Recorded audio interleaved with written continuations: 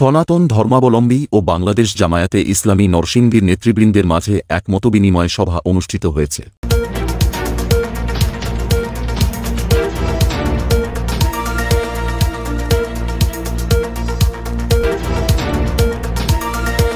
বৃহস্পতিবার রাতে circuit house সংলগ্ন গ্যালাক্সি রেস্টুরেন্টে মতবিনিময় সভা অনুষ্ঠিত হয়। মতবিনিময় সভায় সভাপতিত্ব করেন নরসিংদী সদর উপজেলা জামায়াতে ইসলামী আমির মাহফুজুর রহমান ভূঁইয়া।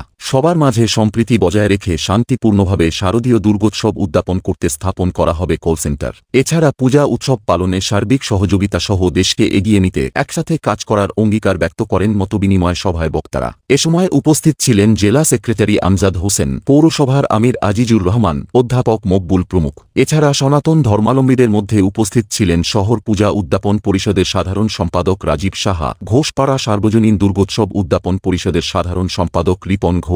বিজয় দশমী সংঘের সাধারণ সম্পাদক দীপক বর্মন ও মধ্যকান্দা পাড়া বাগবিতান ক্লাবের সভাপতি বিনয় ভূষণ শাহ চেতনা টিভি। স্বাধীনতার চেতনায় চির উজ্জ্বল। আমাদের সঙ্গেই থাকুন।